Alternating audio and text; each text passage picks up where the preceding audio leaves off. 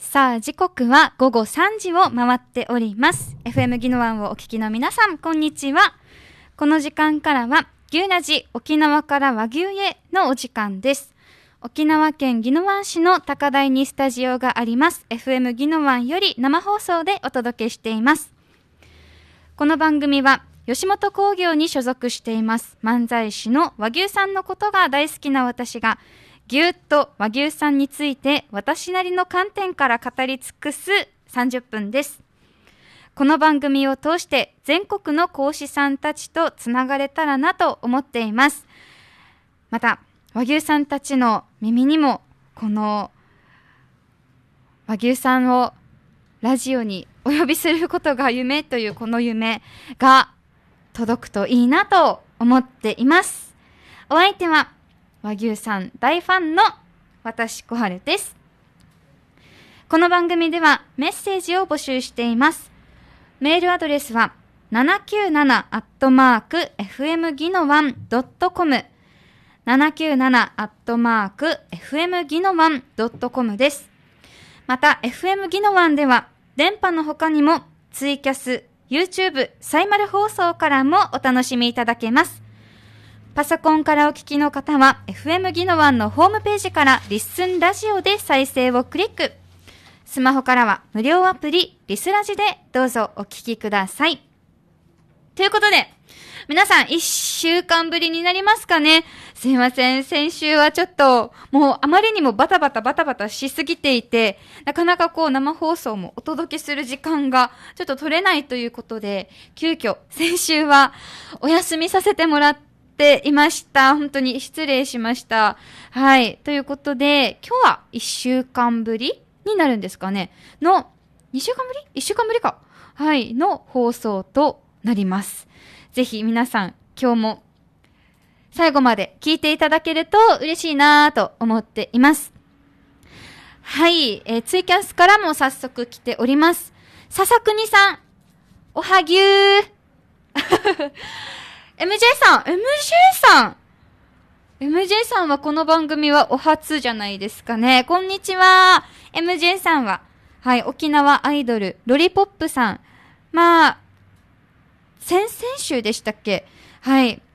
に、まあ、あの、解散してしまったんですが、そのロリポップさんの大ファンということで、一緒に特番もしましたが、本当に好きっていう気持ちって、素晴らしいなと改めて思わせてくれましたね。はい。なんか勇気と希望をもらえた気がする。師匠です。だから、私の師匠です。はい。MJ さん、ありがとうございます。ございますってさ、師匠、ありがとうございます。はい。そして、シーサーさん。なんかシーサーさんお久しぶりな感じがしますね。まあ私がお休みしてしまったっていうのもありますが、嬉しいですね。こんにちは、牛。ありがとうございます。ニセカベさん、小春ちゃん、こんにちは、牛と来ています。はい。常連さん、やっぱ嬉しいな。ありがとうございます、皆さん。あ、嬉しい、笹国さん。牛柄のワンピース？かわいい。かわいい？かわいい？はてな。ってきているんですが。これは一応ワンピースではなく、あのー、なんて言うんだろう、これは。ブラウスって言うんですかね。なんですが、はい。大きなこの黒いドット柄に、えっ、ー、と、下地が白なので、結構ね、皆さんにも、牛柄って、声をかけてもらうことがこの洋服を着ると多いですね。この洋服はすごい一目惚れをしたのと、やはり私はこの、なんだろうな、若干この牛柄に近い柄に目が行く ようになっているんでしょうかね。すごくピンときまして、はい。これを他の番組でも来たところ、リスナーの皆さんから、その服は牛ラジの時に着てきてっていう声もいただいたので、今日は、はい。お気に入りの洋服っていうこともありますし、まあちょっと、牛、和牛さんのこの牛に寄せてきています。はい。皆さん、声かけていただいてありがとうございますね。シーサーさんもこの番組にぴったりやんって来てます。はい。かっちゃんさん、牛柄にしといてください。はい。ありがとうございます、かっちゃんさんも。小春るリスナーの皆さん、こんにちぎゅっぎゅ、一週間ぶりやねと来ていますね。ありがとうございます。あ、ナルトーランさん、牛の水玉模様。ほんとね、そうなんだよね。これね、とっても生地も、なんだろう、お肌に優しい生地で、はい、着心地もとてもいいお洋服となっています。はい、ニセカベさん、ハロウィン、牛のコスプレですね。ちょっとね、うん、楽しみにしていてください。シュプリームさん来ましたね。おこんにちビーフ。一通りようです。花水木。人とようさん流そうかな。はい。ありがとうございます。シュプリームさんといえば、ジャルジャルさん。はい、大好きな芸人さん。まあ、ジャルジャルさんということですが、今年、ジャルジャルさんおめでとうございます。キングオブコント、優勝しましたね。はい。なんかあのー、優勝後のあの福徳さんの、なんだろう、涙がちょっと私はとっても印象深かったですね。はい。私も、うるっと、ちょっと来ました。はい。ジャルジャルさんも、だいぶキングオブコントの、まあ、常連さんだったかなとは思いますが、はい。今年、まあ、もう優勝できたということで、本当に、なんかこちらもとても嬉しい気持ちになりましたね。はい。あれ？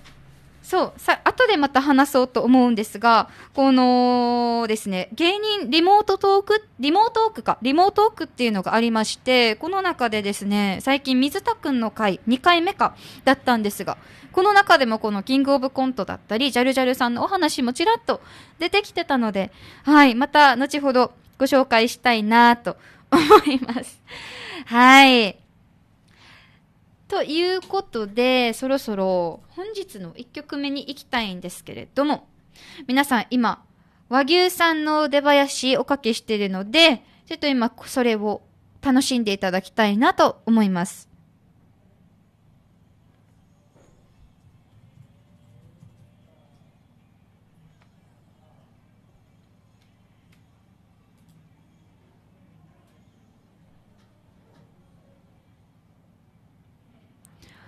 さあさあさあ、シュプリームさんからですね、一通りよう、かっこ人とようっていうあの、ご挨拶がありましたので、今日はなんかその曲をかけようかなと思っております。そんなシュプリームさん、ついに、ジャルッと和牛に番組名を変えるつもりやなと来ておりますが、ごめんなさい。そんなつもりは全くございません。もうシュプリームさんの中で、その番組名としてなんかこの番組が生きていればいいのかなって 思います。ではでは、ここで、えー、本日のオープニングナンバーをおかけしたいと思います。人とようさんで花水木です。流れるかな？大丈夫かな？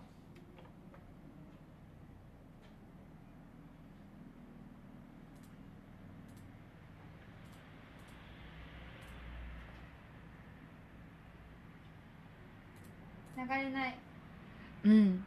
なかなか流れてくれないっていう今 ハプニングがちょっと起きているのですがもう今日はちょっとハプニングが起きてしまっているのでえっとですねもうごちゃごちゃになってしまうんですが私実はあいみょんさんアーティストの中であいみょんさんも好きであいみょんさんの「春の日」っていう曲ちょっとこれはですねあのー、まあこれもちょっと和牛さんに関わる勝手な私の、あの、連鎖、連鎖というか、か無理やりつなげてるところもあるんですが、ちょっと今日はあいみょんさんの 春の日をおかけしたいと思います。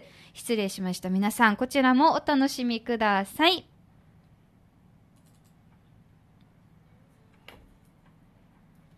これいつ確か去年、そうそう、去年だったよな。去年国際映画祭の時のだったはずな時にずっと聞いていてその時に和牛さんが沖縄に来るって言ってめちゃめちゃ和牛さんのこと和牛さんが沖縄に来るっていうことしか頭にない時にずっと聴いていた曲なのでなんか春の日イコール和牛さんみたいな私の中で。無理やり感半端ないけどっていうなんかこじつけがあります。そうそうそう。ねはい花水木が絶対あるはずなんだけど流れなかったな。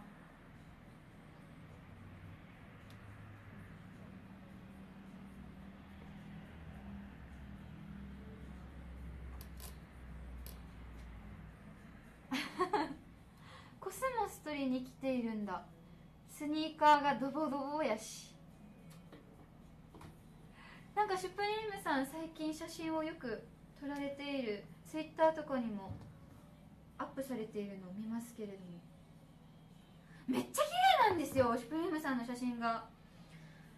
そういろんなこの前私がわあ癒されるなーって思ったのがお花の写真。うんとても綺麗だったないいですね写真。写真いいな。素晴らしい。本当に目の保養ですね。こういう素敵なもの素敵な目の保養になる癒しの素材がツイッターとかでたくさん流れるといいなって思いますけどね。うん。コスモス。えー、でも雨にこの濡れたコスモスもまたすごい綺麗じゃないですか。いいなあ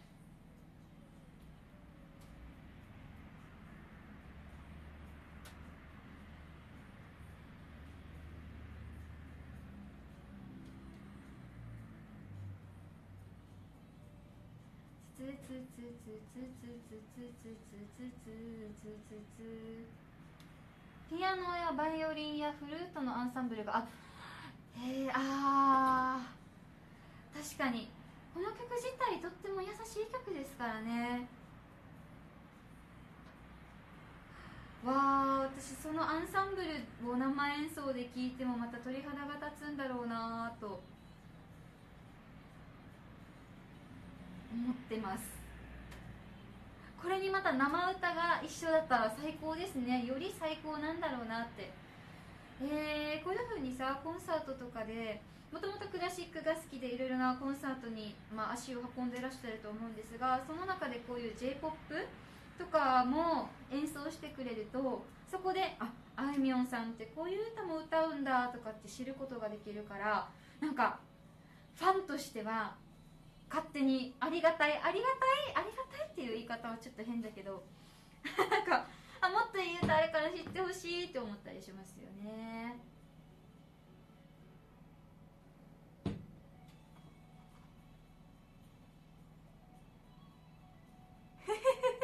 何着ても似合ってるよ牛。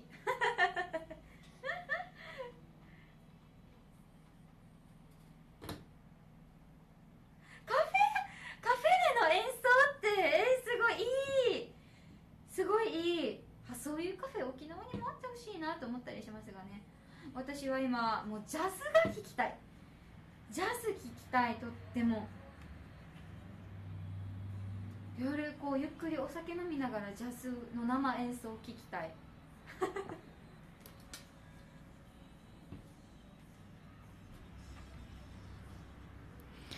さあ、今おかけしていますのは、あいみょんさんで春の日なんですが、この曲はですね、確か去年の4月、5月頃だったかな。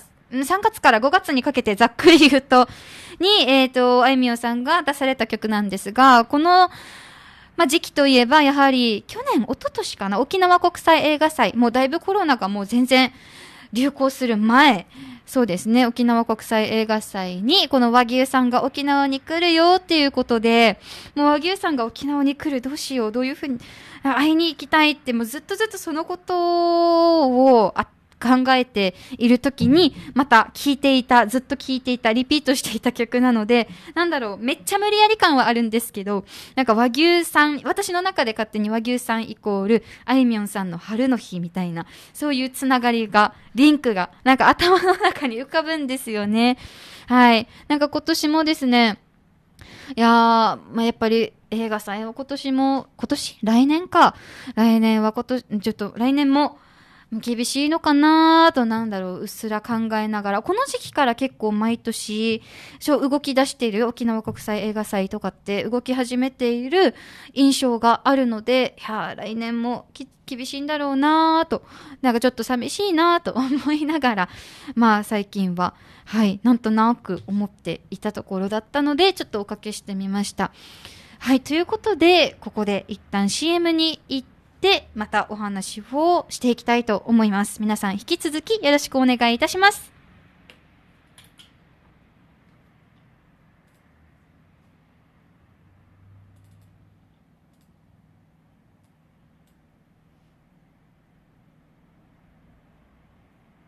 ほらシーサー。さん元気？なんか本当にお久しぶりって感じがする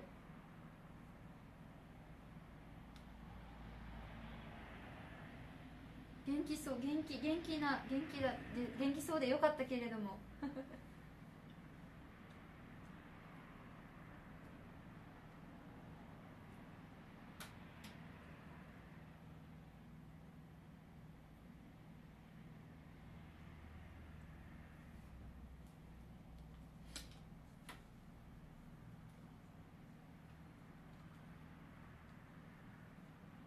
ね牛の私今年のハロウィン何をするっていうのをまだ誰にも言ってないんですね。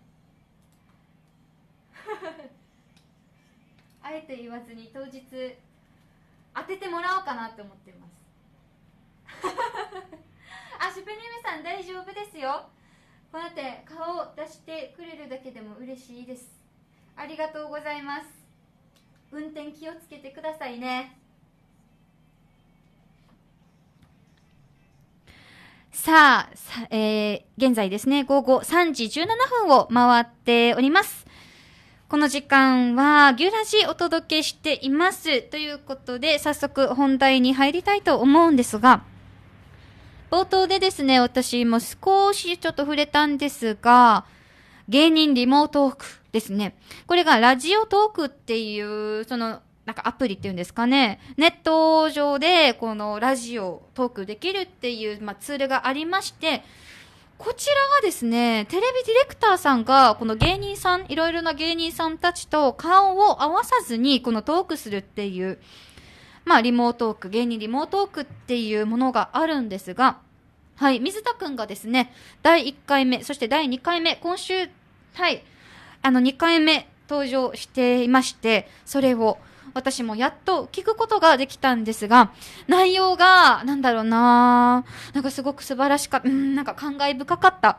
勝手に、私は本当に一ファンですし、本当に完全に主観、私なりの、なりに思ったこととかがいろいろあったので、まあ皆さんどういうふうに考えたかな、思ったかなとも、はい、ちょっと気になるところではあるんですが、この今回の回がですね、水田くんが M1 に出ない2020年今年を語るっていう回で、はい、これもまたね、皆さんもやっぱりこの時期もうね、M1 も予選とかいろいろ始まって動いているので、やっぱり今年からもう、もう、M、あの、和牛さんは、まあ、卒業してしまったので、M1 は。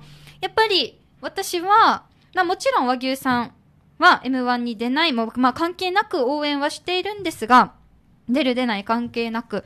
はい。ですが、やっぱりなんだろうな、ちょっと寂しさはあるなっていうのが正直なところですね。はい。まあそこで、水田くんが、まあいろいろと、あの、お話語っておりまして、なんだろうな、いろいろネタのお話だったり、またこの苦手な分、苦手なものも聞けたりして、本当に、なんだろう、包み隠さずに赤裸々と話してくれたことがすごく印象的だったんですが、なんだろう、やっぱり M1 っていうあの舞台はすごくもうね、選ばれたやっぱり芸人さんたちが決勝に出て、で、日本一の漫才師を決めるっていう舞台、すごく大きな舞台なので、やっぱり皆さん、きっとその M1 チャンピオンというのを目指して漫才されてる方たちもやっぱり多いとは思うんですが、やはり、このなんだろうな、時間の制限があったりとか、まあもちろんプレッシャーとか、はい、特に和牛さんはもう結構 M1 の決勝も常連さんとして、もう皆さんの中でも着実とそういう印象があったと思うので、はい。いろいろなまあ放送ね、プレッシャーとかもあったと思うんですが、やはりこの、そういうあらゆる縛りのない中での、やっぱり漫才をしてる時の和牛さんが、なんだろうな、まあ皆さん、まあ芸人さんたち皆さんそうなんじゃないかなとは思うんですが、その、なんか一番素、素でやってる和牛さんというか、もう自分たちのじ、まあ、時間、そうですね、本当に、なんて言えばいいんだろう。あらゆる本当に縛りのない中での漫才をしている和牛さんが、一番やっぱり和牛らし、和牛さんらしい漫才というか、をされてるのかなーって、なんか、なんとなく思ったり、その方がやっぱり、もちろん M1 での舞台もすごく輝かしいし、楽しいしっていうのはあると思うんですが、なんだろうな縛りのない中での漫才がやはりご本人たちも一番楽しんでされてらっしゃるのかなと、まあ、自分の見解ですが本当にと思ったりしましたね。でこのやっぱりえっと M1 はまあ、時間の制限があるっていうことなんですがこのやってきたネタをこれからはこう長くできる時間の制限もなくなってきたっていうのがあるのでどんどんどんどんこういろいろとまた練りながらアレンジしていきながらやっていきたいということもおっしゃっていたと思うんですがそれを聞いてやっぱり和牛さんの漫才というのはこれからもどんどんどんどん進化進化というか言い方が合ってるかは分かりませんが、パワーアップしていくんだろうなぁと思いました。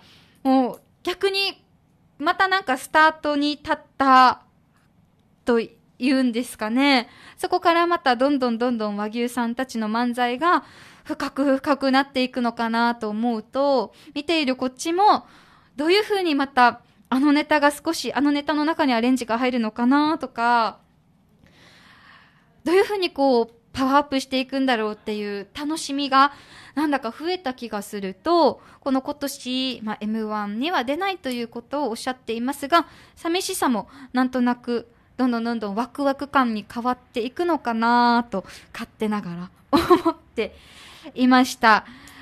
はい。あ、シーサーさん、M1 は音楽で言えばコンクールみたいな感じがします。自由にできる方が和牛さんたちは合ってるのかなと思いますとシーサーさんからもコメントが来ていますね。まあやっぱりどの芸人さんたちも絶対プレッシャーとか、ね、やっぱり、うん、いろいろ考えるところはあると思うんですが、ね、やっぱりこの自分たちのに合ったスタイルというかそういうのが皆さん絶対あると思うのでうんこういうね賞レースも見てる方はやっぱり面白くて見てますけれども本人たちのプレッシャーってすごく計り知れないものがあるんだろうなとやっぱりその立場になってからじゃないとわからないなって思うことがたくさんあるなとなんかつくづく感じましたね。だからこういうふうに簡単に出ないから寂しいとか言ったら、言っても、言ったらいいのかなって思う部分もありますけれども、まあでも本音はね、やっぱり今年も楽しみにされてた方は結構いらっしゃるんじゃないかなと思うんですが、まあ先ほども言ったように、この日々、どんどんどんどん積み重ね積み重ねパワーアップしていく和牛さんたちの今後のこの漫才スタイルだったり、それがまた楽しみだなと、はい、ポジティブに。思い、思ったところですね。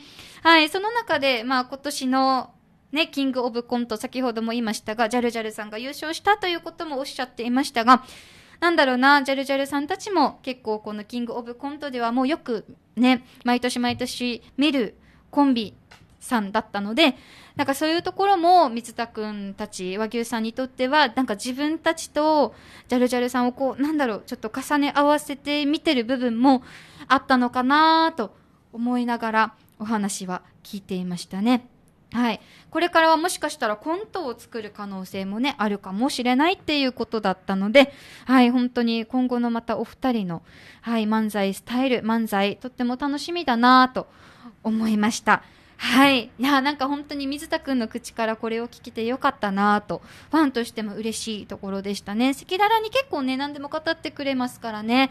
はい。いや、本当にこの回聞けてよかったなと思っております。ということで、引き続き私は和牛さんを応援していきたいと思います。皆さん、また来週もうええわ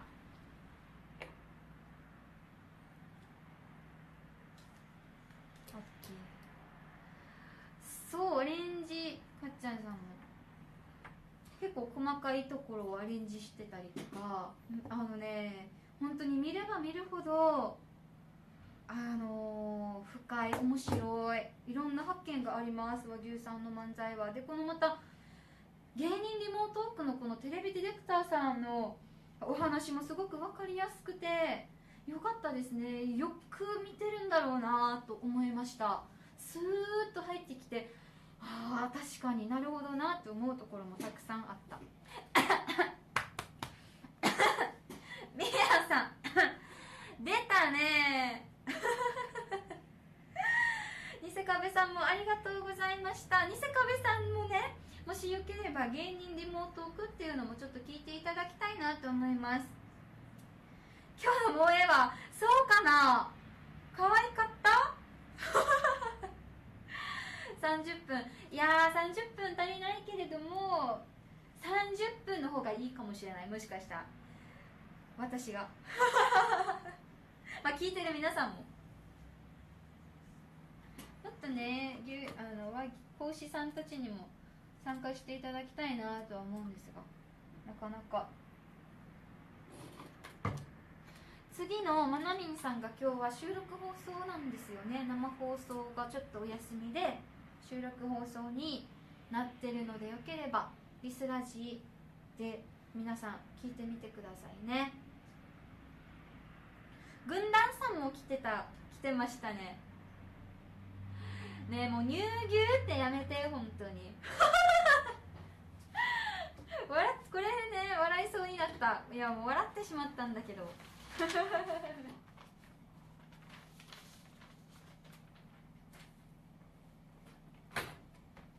乳牛ちゃんとそこはメスメスメスさんにしてくれたんですね。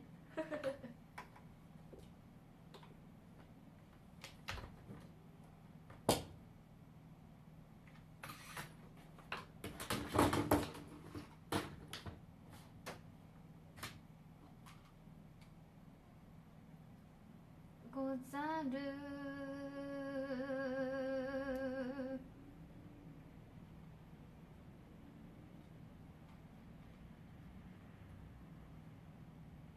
こでやっても結局面白いんだよ和牛さんの漫才は。結局。宜野湾のセクシー担当誰が？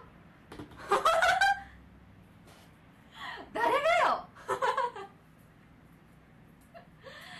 そう今日はねこの後まなみんさんのとある女子とインドラジオもちょっとお休みが続く寂しい寂しい金曜日になってます。はい。笹国さんお月ゆありがとうございました。宜野湾のセクシー担当って山内さんじゃない？こんな言ったら怒られるかね。私はセクシーとはほど遠い人間だよ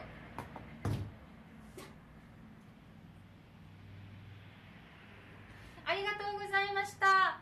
YouTube がもうそろそろ終わるんですがよければ和牛さん 和牛さんとか言ってコロナが落ち着いて何も心配不安もなく沖縄に来れるという日が来た時にはぜひ FM 宜野湾沖縄の FM 宜野湾に足を運んでいただ